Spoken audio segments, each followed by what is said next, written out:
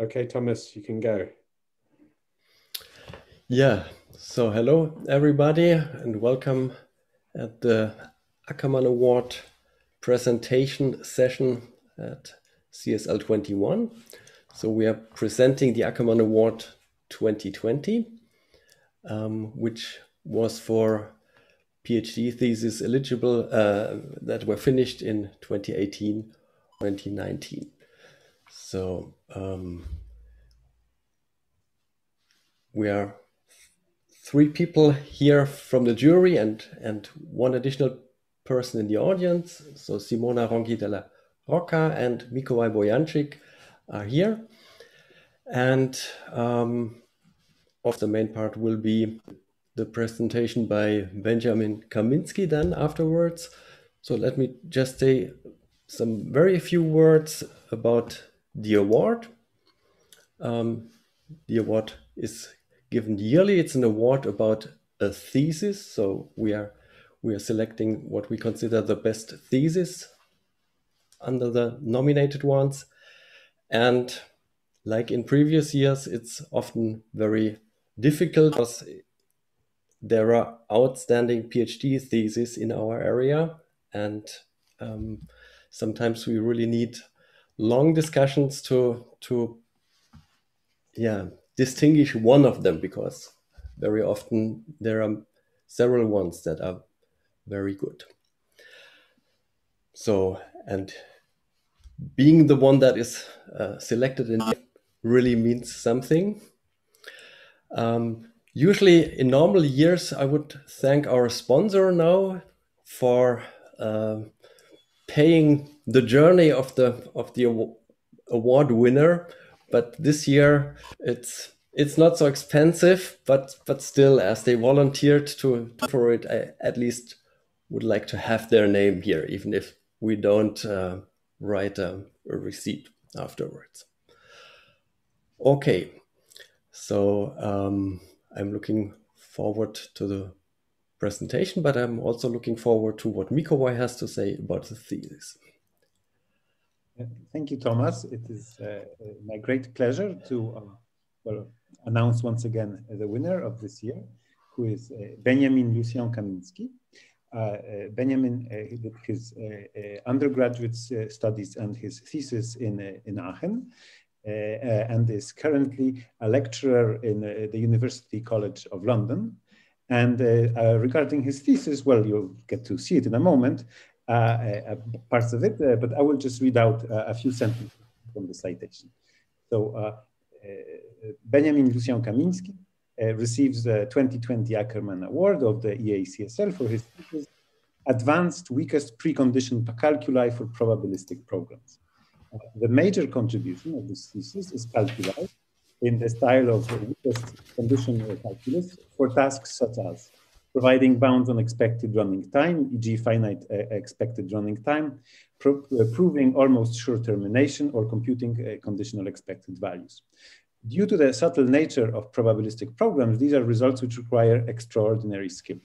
At the same time, the thesis is expected to make, in fact, it already has made, an important uh, impact due to the promising and wide-ranging applications. Finally, uh, the quality of the exposition is exemplary.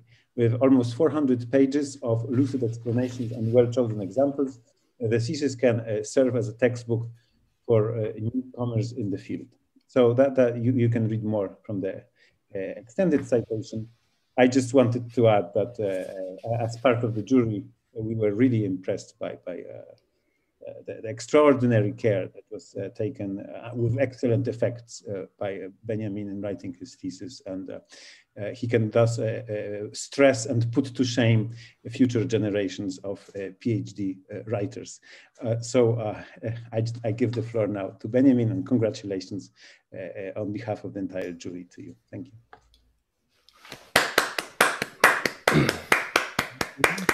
And but before we we continue with the presentation, I would like to hand over the the certificate to Benjamin. So we we didn't try that out, so I hope it it it works at the first uh, attempt. So I'm giving it over to Benjamin, and I hope yes, it worked. Great.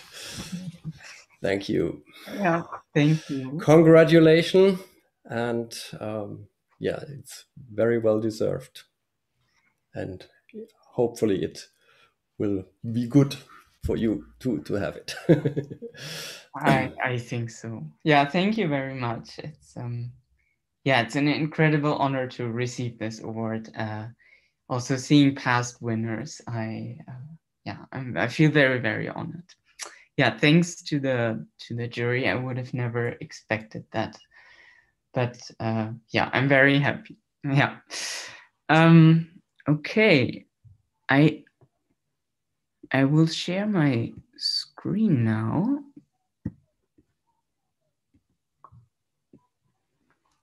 Did that work? Cool. Okay.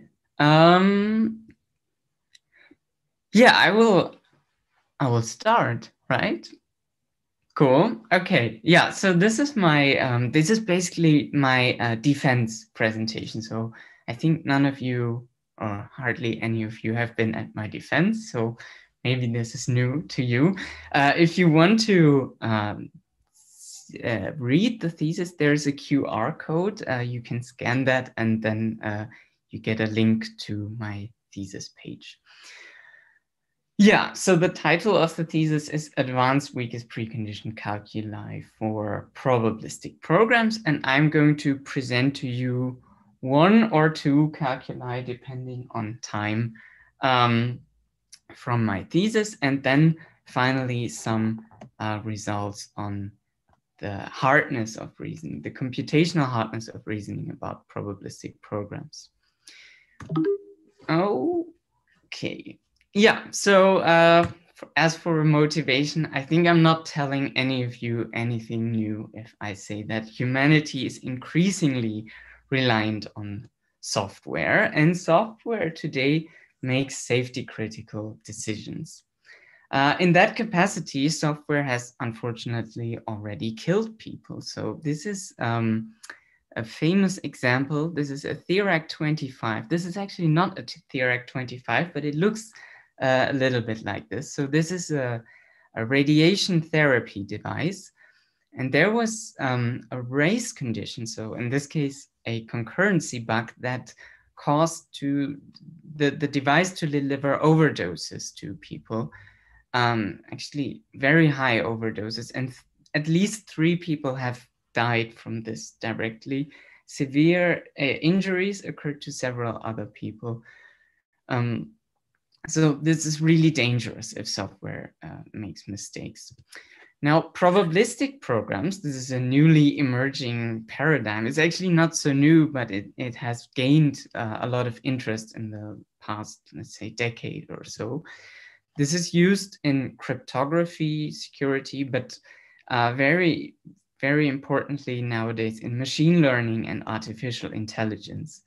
And in there also uh, probabilistic programs do make safety critical decisions nowadays on an experimental basis so far, but um, this is going to increase most likely.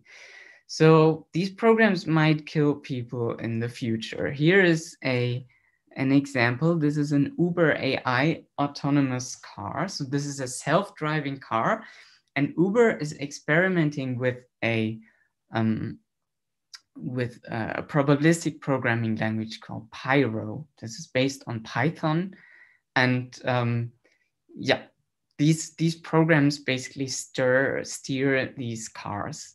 So it's very important that also probabilistic programs uh, have no bugs. And we would like software to have no bugs, but there's kind of mathematical evidence by Church and Turing that this is, it's kind of hopeless to, um, to hope that uh, we will not ever have any bugs in software but we can try, uh, and this is what we do here.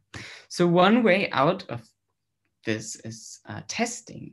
So we can test our software heavily, but of course, this is a little bit like trying to find a needle in a haystack. And actually, because we're talking about infinite state systems, this is an infinite haystack where we're trying to find a needle. So here's a picture to demonstrate this.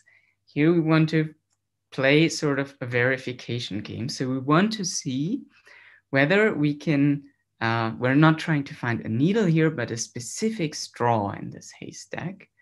And we want to know, is this blue straw here actually one of the green ones? So in other words, can we get from this green area to this single blue area, which could be a bug?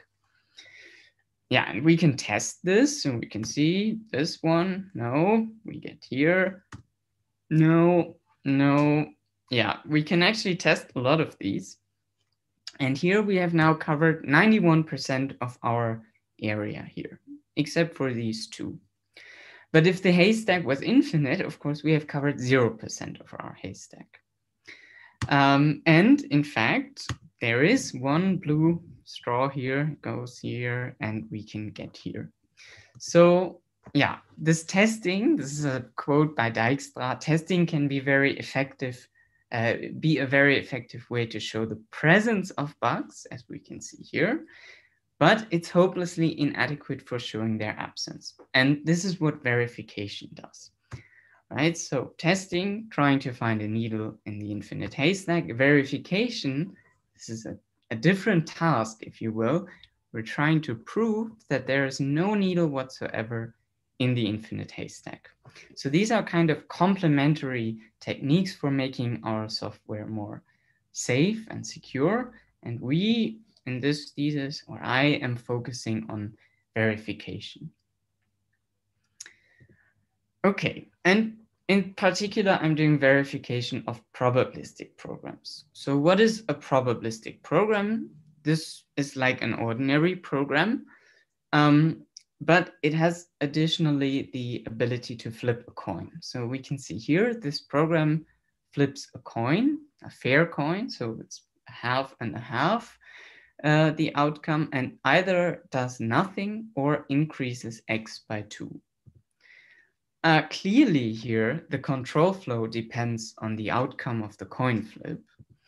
Um, and the question is now, what does this program do?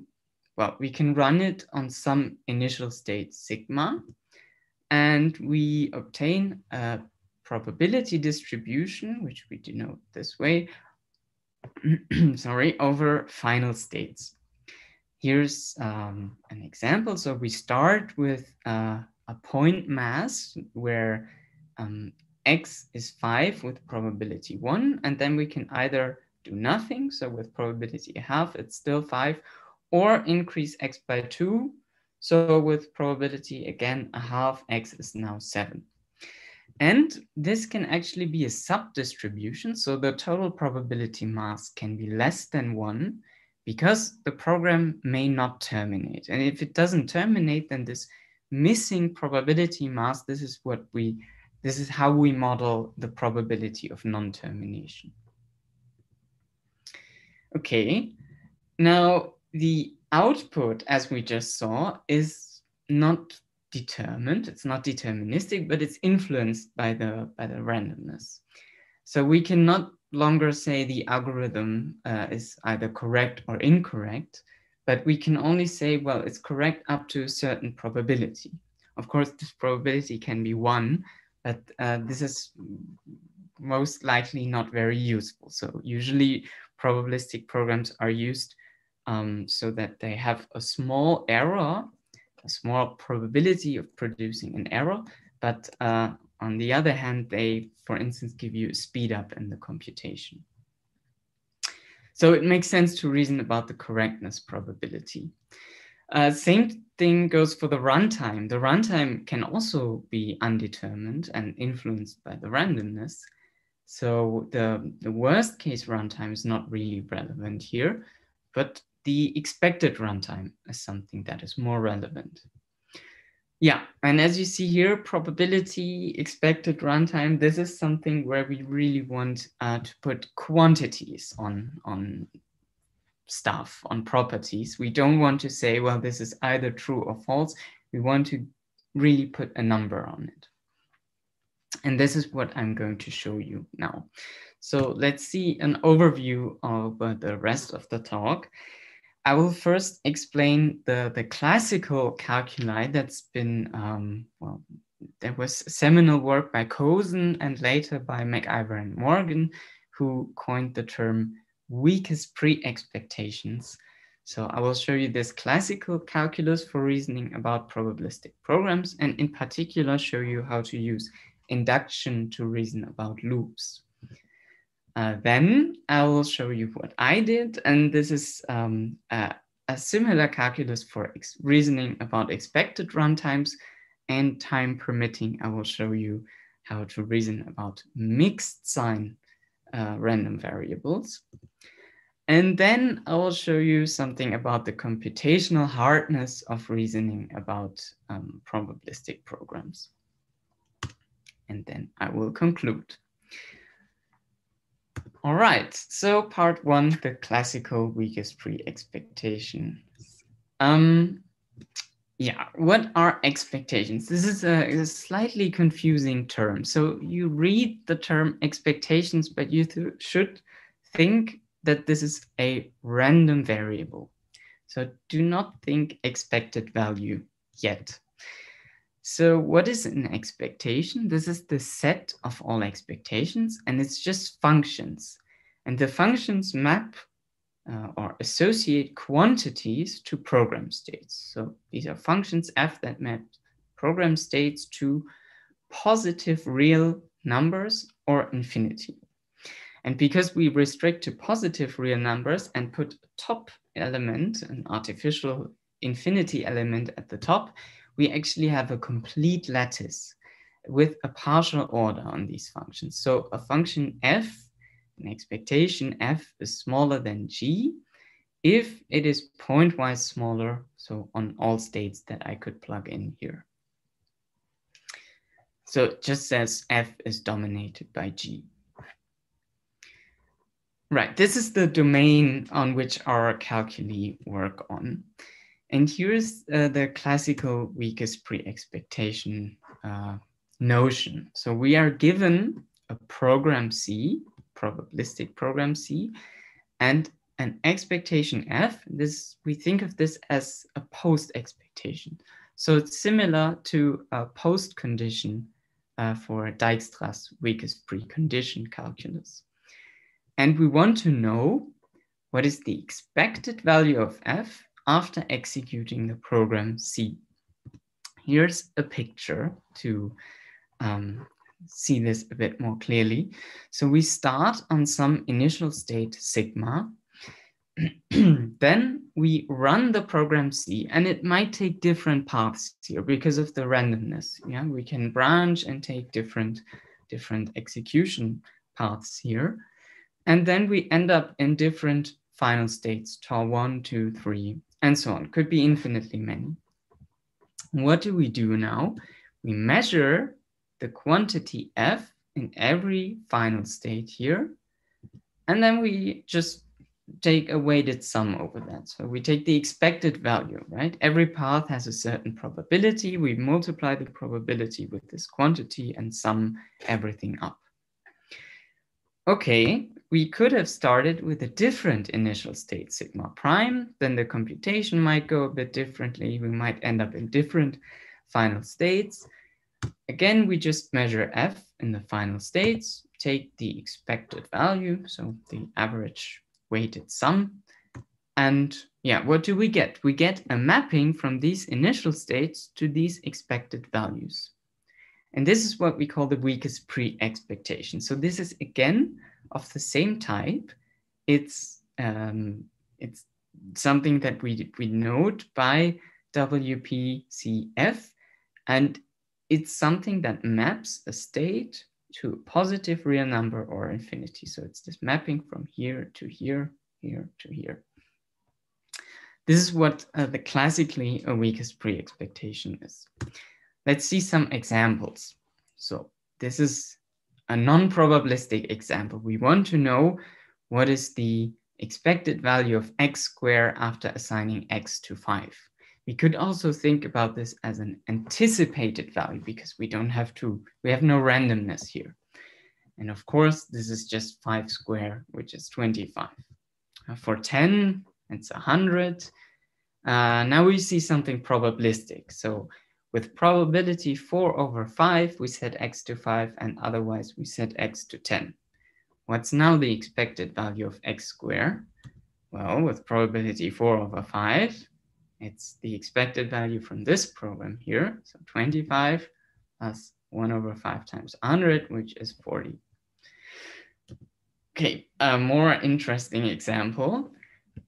Here we uh, we actually already saw this example. It was uh, right from the beginning. So either do nothing or increase x by 5.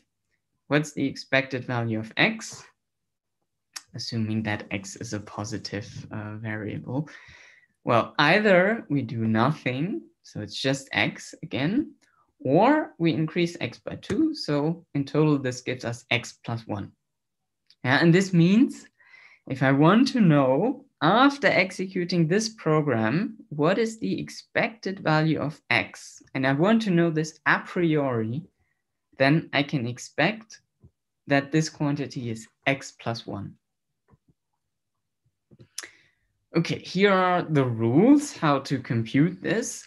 Uh, it's actually not so uh, important, but what is important and nice is that you can define this by induction on the program structure, right? So you have a rule for an assignment for sequential composition. You see here, we just plug uh, one function into the other. For if then else, it's also like this. So we see whether the guard is true. If yes, then we take the expected value of the program C1 the guard is false, we look at C2. Same goes for the probabilistic choice. So either C1, uh, uh, either with probability P, we look at C1, 1 minus P, we look at C2. And for the while loop, we use a least fixed point construction. So if the loop guard is false, we immediately evaluate to F, to the post expectation. If the loop guard is true, we recurse here on the loop body and yeah, in total, we have a least fixed point here. So uh, in particular, this rule for sequential composition is very nice because it gives us a continuation passing transformer, uh, which we can use to reason about probabilistic programs. So if here we have the program C2, and we want to know what is the expected value of f, then the transformer WP transforms this into another function, which is the expected value of f after executing this program, C2. And this is evaluated here in these states, and this is evaluated in the initial states before executing C2. And now if we prepend this program with another one, then we just pass this uh, into the transformer and this gives us the expected value of this expression after executing this program, which is, in other words, the expected value of this expression f after executing the two programs in sequence. And this is now evaluated here in the initial states. Yeah, so what does this mean? Actually, for our uh, haystack example, we're just turning around the arrows here and we start from the back and just see, do we get here to the green area? Okay, let's look at loops. How do we handle loops? So here's the definition uh, of the least fixed point, which defines the weakest pre-expectation for a loop. And um, if we call this here phi of x, then this is the least fixed point of phi.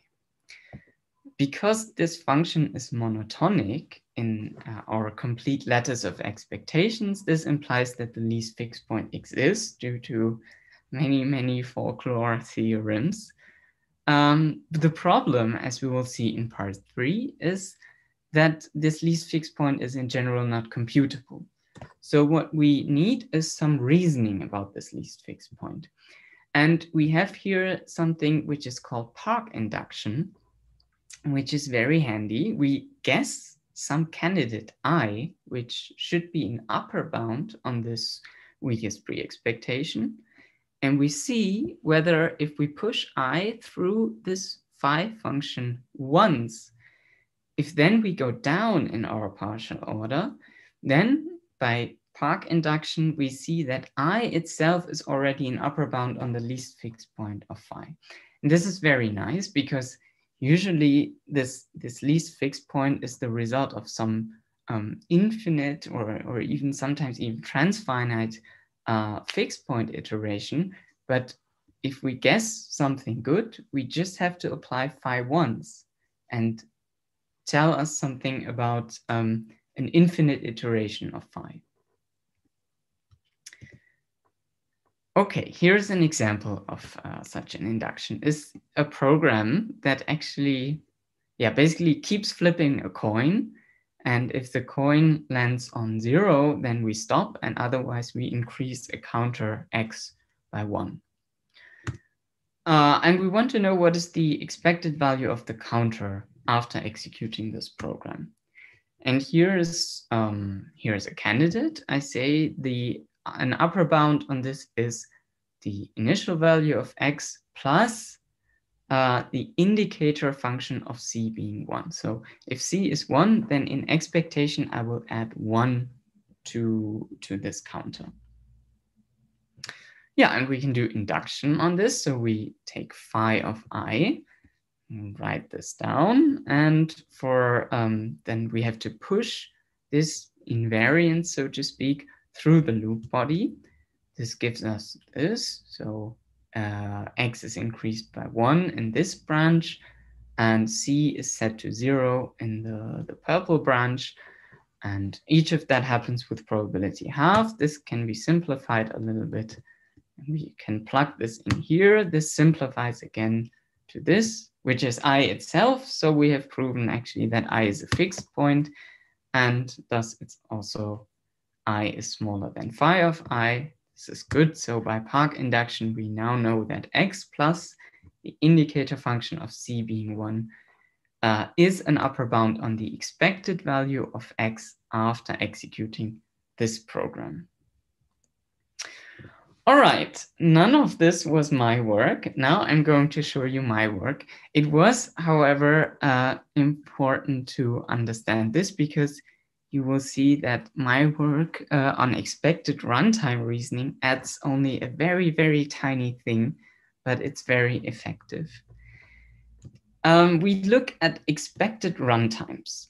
Okay, and let's first look what happens if we naively try to use um, just the weakest pre-expectation calculus for reasoning about expected runtimes. So here's a program, while true, increase the counter x. And we could think, well, x accounts for the runtime because every time I do an iteration, I increase x by one.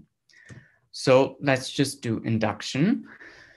Uh, I want to know what is the expected value of x. But now I will do something mean. I will propose as a candidate upper bound the constant zero function. And now we try to do induction. It shouldn't work, but it will.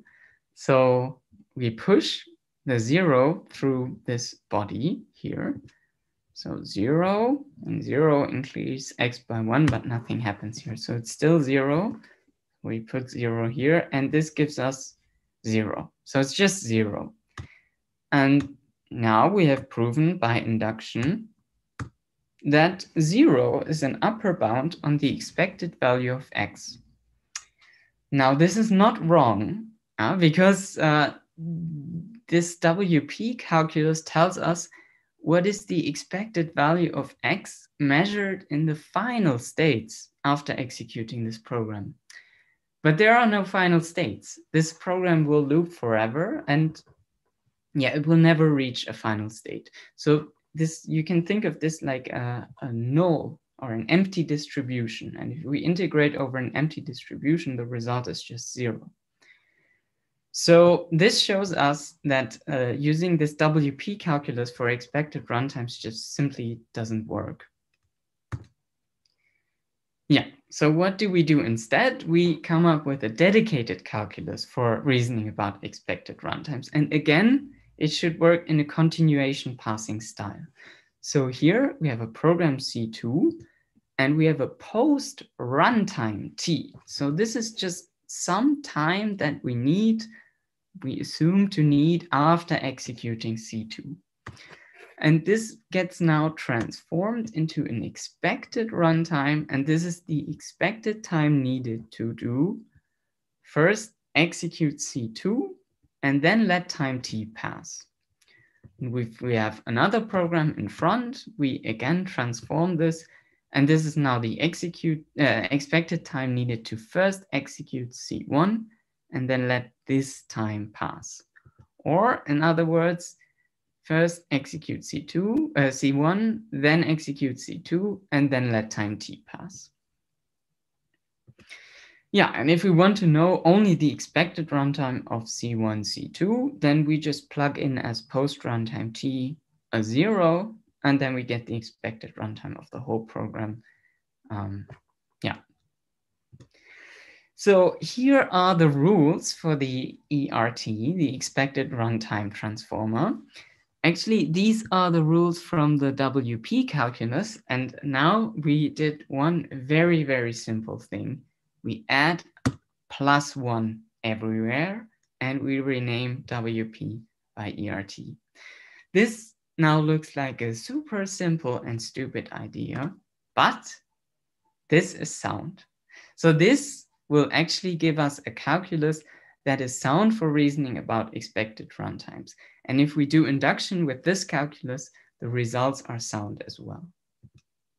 So let's see an example how to do reasoning in this calculus. Very simple example. So choose zero as post runtime, meaning after this program, we're done. Okay, now we copy the zero to two branches and skip gives us this plus one. So skip takes one unit of time and another one and another one. So this takes three units of time. The other branch takes one unit of time. And now the if then else, we say that we need one unit of time here for evaluating the loop guard. If it's true, we take one unit of time. If it's false, we take three units of time. Okay, let me collapse this, oh, let first simplify, now collapse. And now we prepend something probabilistic. Now we have this expression to start with. Copy that to both branches. In this branch, x is set to 10, simplifies to 3. Here, x is decreased by 1 first and then set to, sorry, simplified, then set to 4. This gives us 6. And now we have to average. So this happens with probability one over three here, and this with two over three. And we take one unit of time for flipping the coin. So this uh, simplifies to five. So this means in order to execute this whole program and then do nothing, you need on average five units of time. Okay, let's look now at loops. This is, of course, the, the most interesting thing. So again, this is defined as a least fixed point, but now with this one plus thing here. And uh, yeah, again, this is a monotonic function. The fixed point is again not computable. So we again use Park induction. And here is now uh, this example. Um, we choose as post runtime zero. So after that, we're done. And here's a candidate upper bound. It's one plus, if C is one, then six units of time. I will give you some intuition on this six. So first the one, we definitely need one unit of time to check whether the loop guard is true. If the loop guard is true, then we do the following. We definitely uh, look, uh, well, we definitely flip this coin once.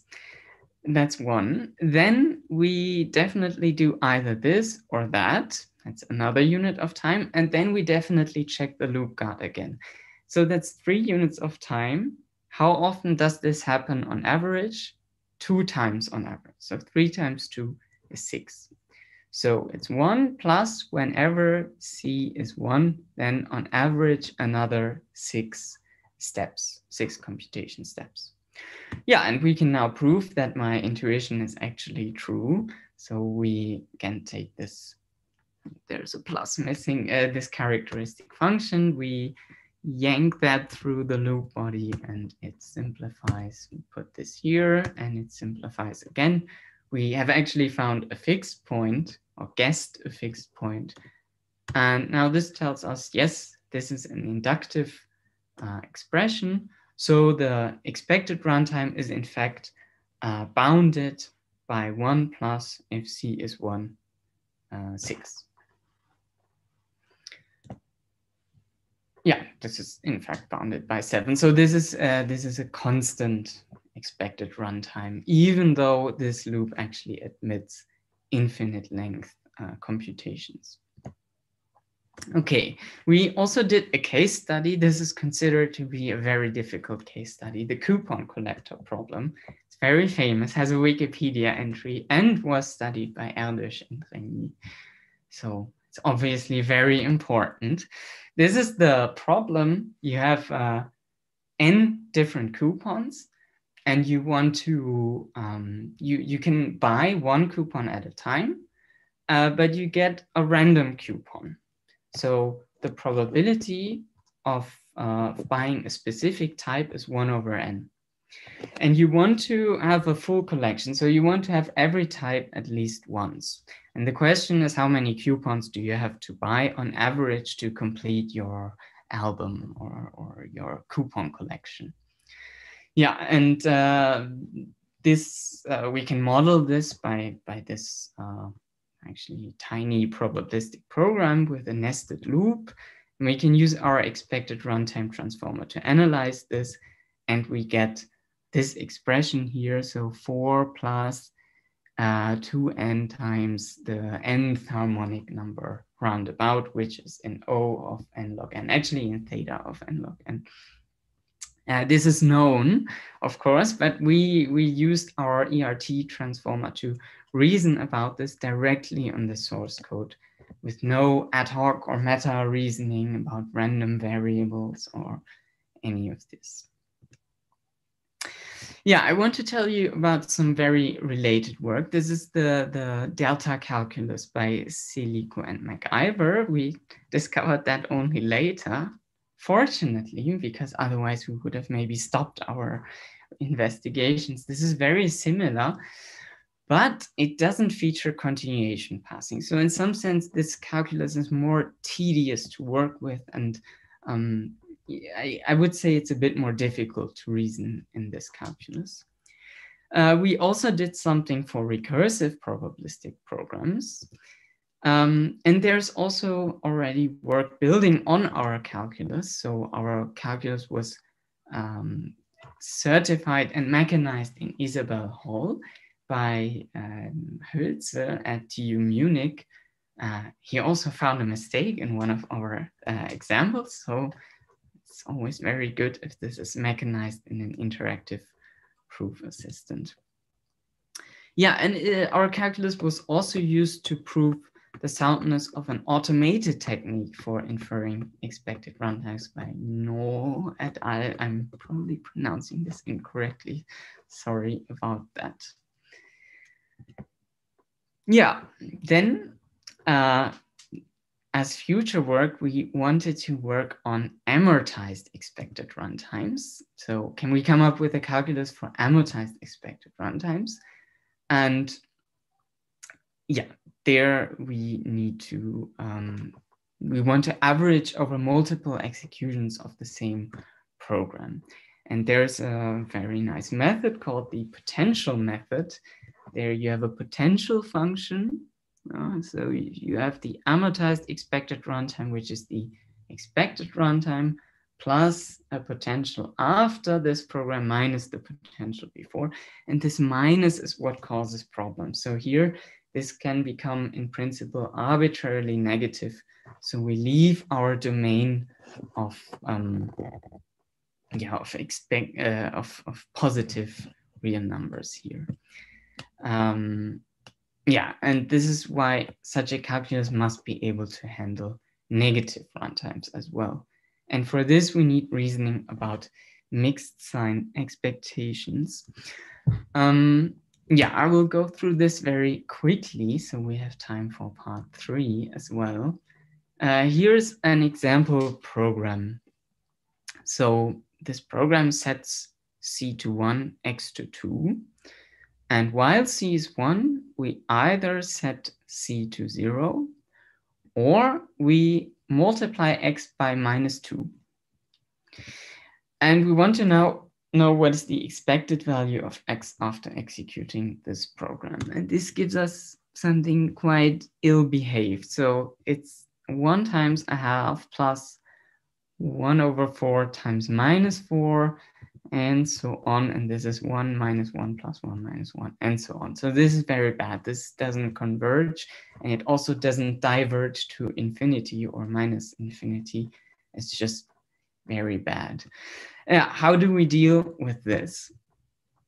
So uh, we use something that we call integrability witnessing pairs. So we look at classical probability theory and one that integral over f is if the integral over the absolute value of f is finite. Now, only then this makes sense. Yeah, and in this case, f is called integral.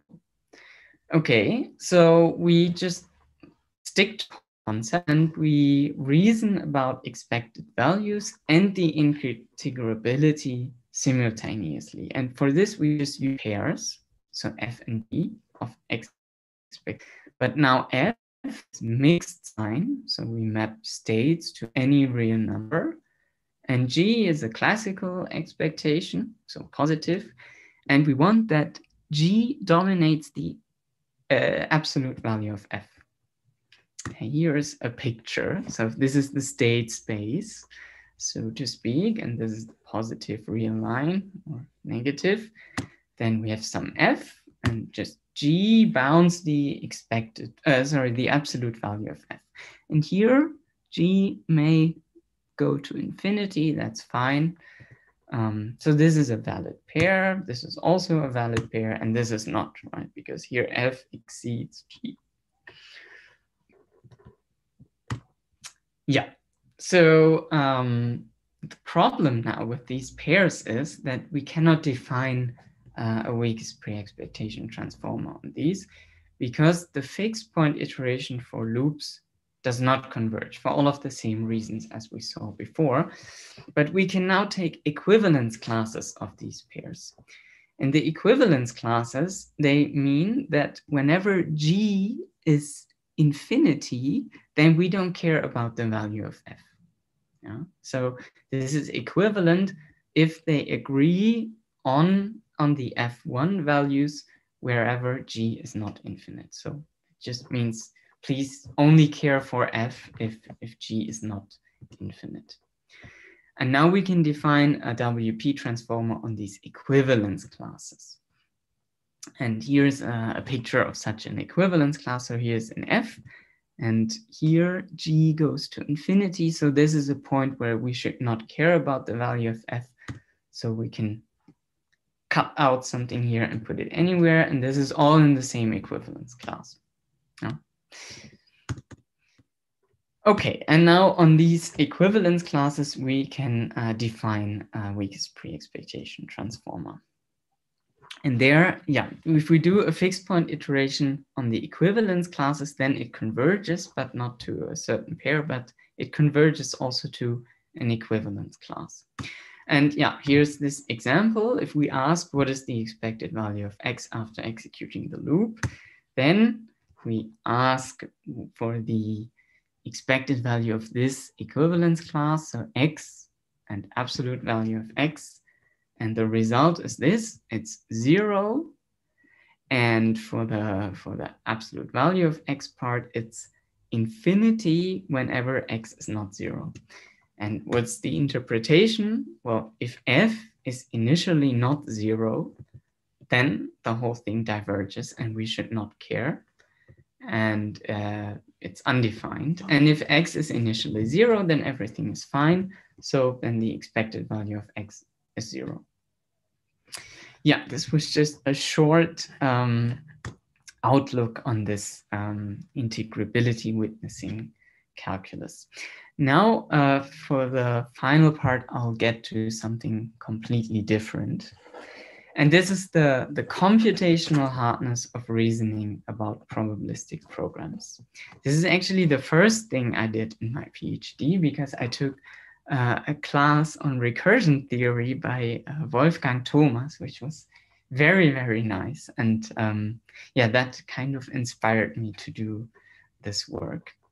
So there is kind of a, a dispute in the literature, or there was a dispute in the literature on whether reasoning about probabilistic programs is more difficult than reasoning about normal, ordinary programs or not. And here's a quote by Morgan. Uh, he says, probabilistic reasoning for partial correctness is not much more complex than standard reasoning. And here is something by Esparza and others, um, and others who uh, looked at almost sure termination. And he says, or they say, ordinary termination is a purely topological property, but almost sure termination is not. Proving almost sure termination requires arithmetic reasoning not offered by termination provers. So actually Morgan and Esparza are not talking about the same thing. One is partial correctness, the uh, other one is total correctness, but still, yeah, you feel that there is kind of, uh, yeah, people didn't know whether one is more complex than the other. Yeah, so my question was, was what precisely is the complexity of reasoning about probabilistic programs? And I did this in the uh, arithmetical hierarchy.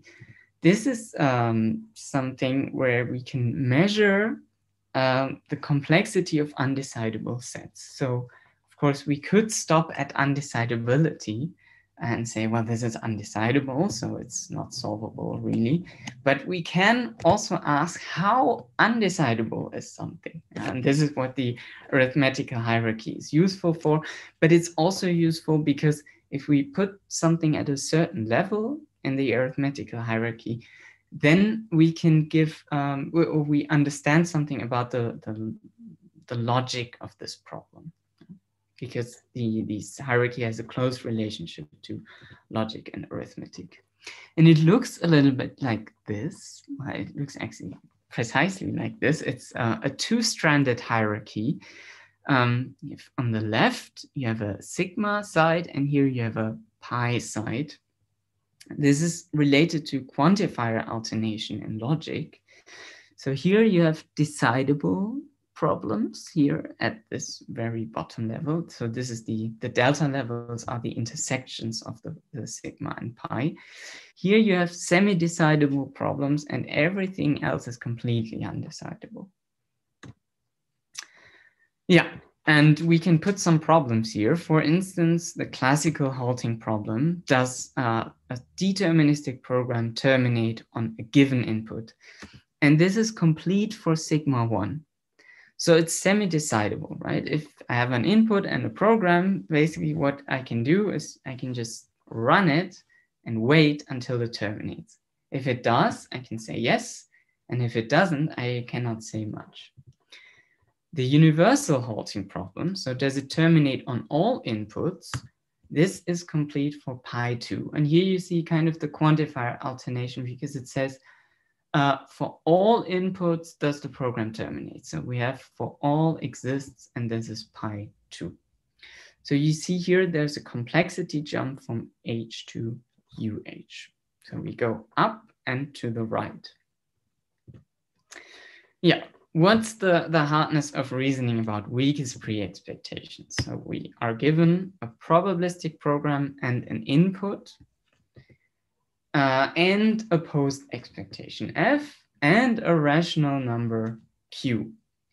And we now ask, that's this problem, Lexp is q a lower bound on the expected value of f after executing program C on initial state sigma.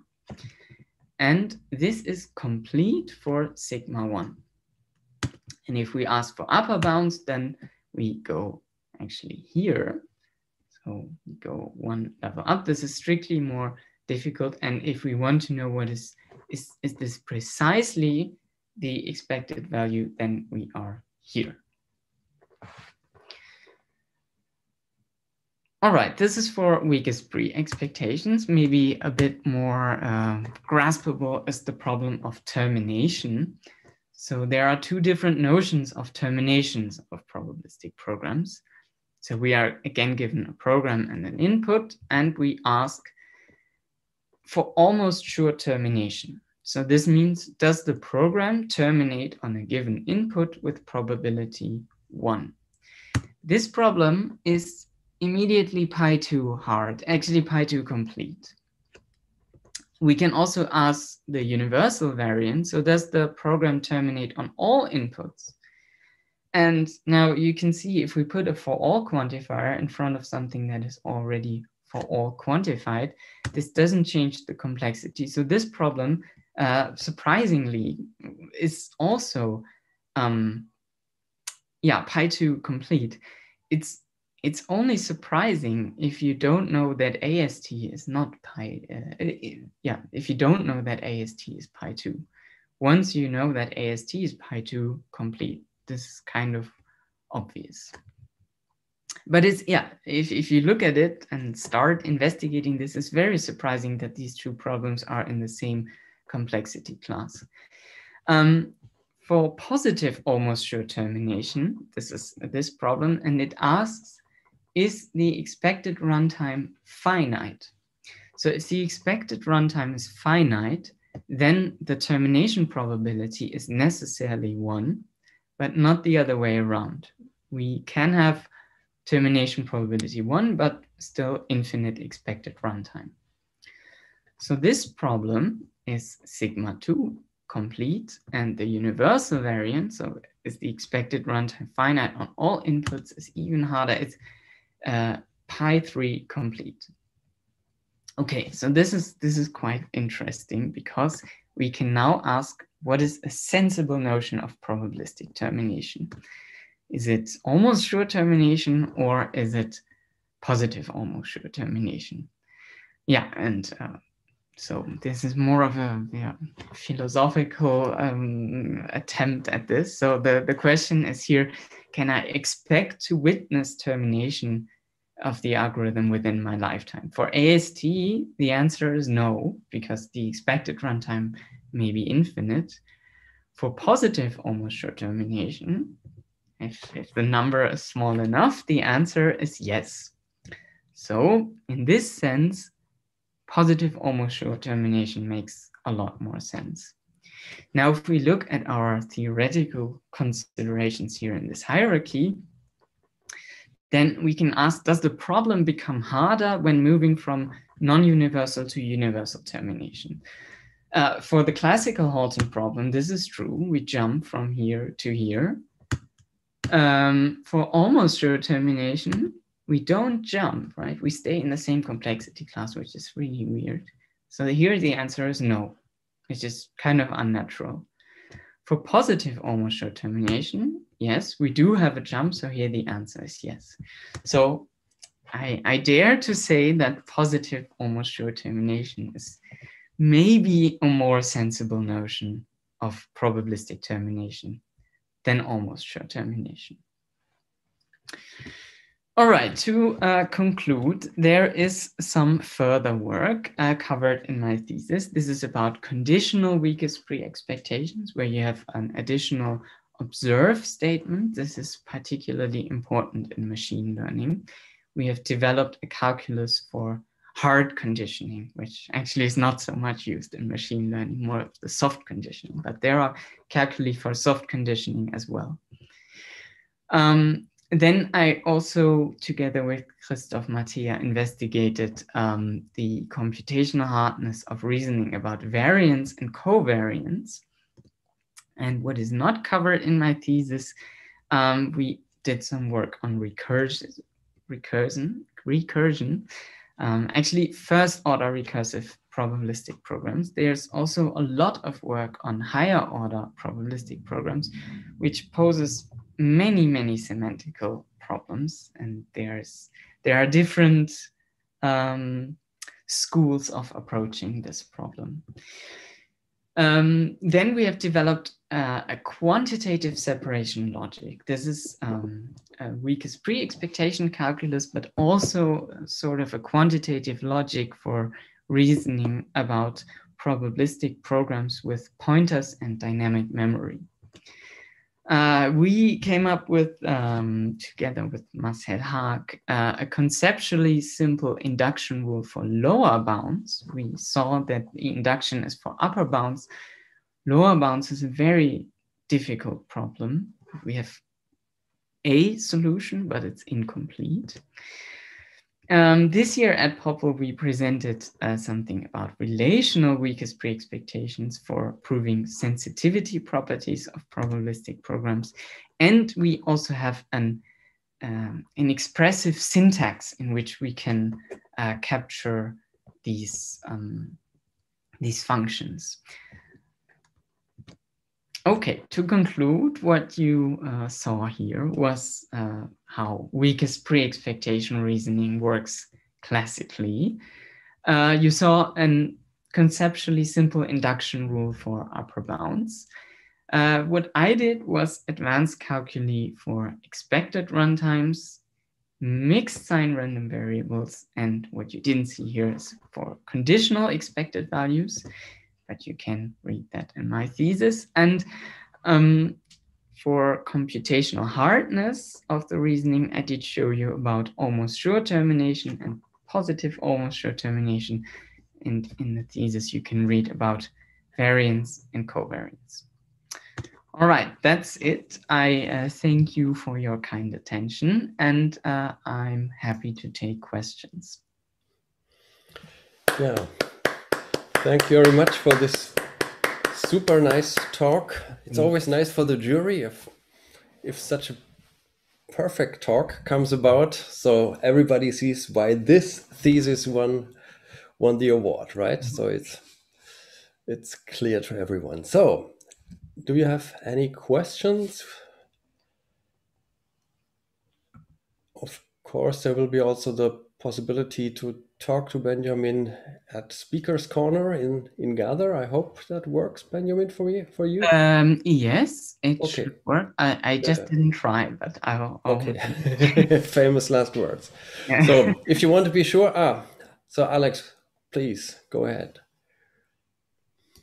Yeah, thank you for the very nice talk. Um, just a quick question. So you mentioned very briefly at the end computational hardness results for um, variance and covariance. Mm-hmm. So uh, I'm wondering, did you also look at do, do, the kind of reasoning methods you were talking about earlier in the talk? Can they be extended to reasoning about variance and covariance? Yeah, we uh, yeah I didn't uh, speak about this. We we did um, investigate that as well. So um, yeah, sort of a um, WP calculus for reasoning about the variance and ex- especially the variance of the expected runtime. Uh, we published this at QEST, uh, and you can also find it in this Acta Informatica um, paper. Oh, no, you cannot. Sorry. no, it's at QEST. But um, I have to say the the calculi that come out are not as elegant. So I I don't like them so much. and um, I think it, it would be much nicer if um, if we can came up with a, a, better calculus for that. Because it's yeah this is obviously an interesting question right? If you have runtime variance or low variance you can shield um, in security you can shield uh, algorithms against side channel timing attacks and such things. So i think this is an important problem but we don't have a good solution to that. Okay thank you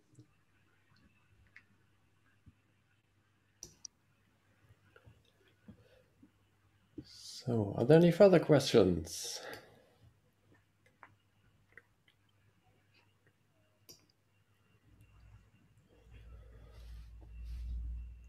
For then, otherwise, I would like to thank Benjamin again and everybody who attended the session. So, there will be an Ackermann Award 2021. The call is not out yet, but the deadline will be in July 1, so like like last year. So there's some time left for that, but the, the call will be out soon. So please spread the word. And then I might say that there is the membership meeting of EACSL at 5.30 also here. So, and everybody is invited to, to take part. Every participant of CSL is a member of EACSL, even if you didn't know, and you can take part in the membership meeting in 30 minutes about. Okay. So see you there or see you at Gather Town. Okay. Yeah, I'll try Thank to. you to Benjamin for the very